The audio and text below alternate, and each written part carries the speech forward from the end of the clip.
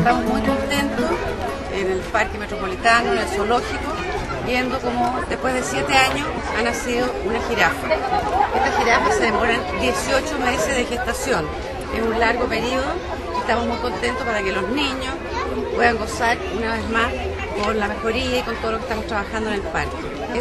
Una bicicleta pero de dos ruedas eléctricas en que en este plan las personas podrán con un arriendo, un precio moderado, poder recorrer el parque en ese tipo de vehículos.